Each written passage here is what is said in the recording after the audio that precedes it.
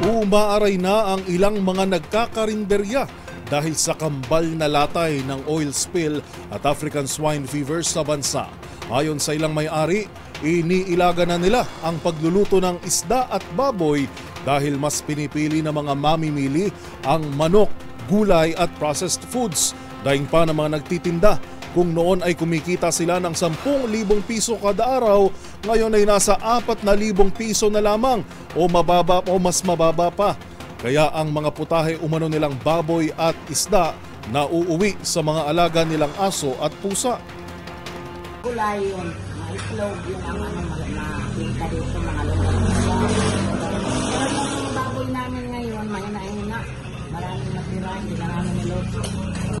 Matumal yung aming ano, yung karne. Oo. So, ang lagi binibili, puro gulay, and then chicken yan. Yan ang matay sa amin.